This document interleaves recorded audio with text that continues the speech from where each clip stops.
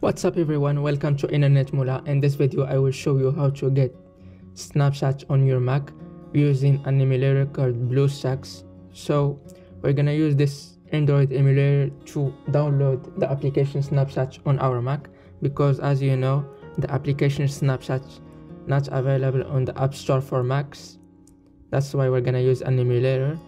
The first thing that you're gonna do is click on the link in the description below this video to open this website bluestacks.com and then download bluestacks and then install this emulator on your mac. I think that's easy but if you have some problems put put it in the comments below the vi this video so we can make another video to show you how to install this emulator or bluestacks and then after installing this emulator bluestacks open it and then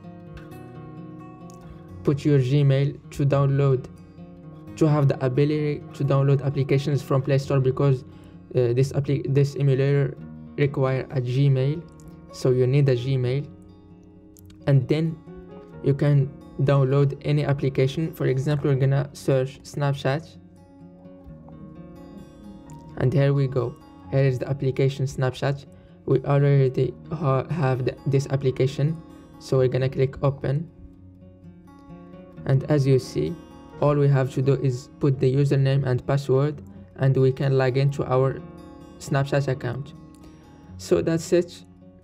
If you like this video do not forget to click on the like button subscribe on our youtube channel to get more tutorials about tech. Thank you all for watching this video. Bye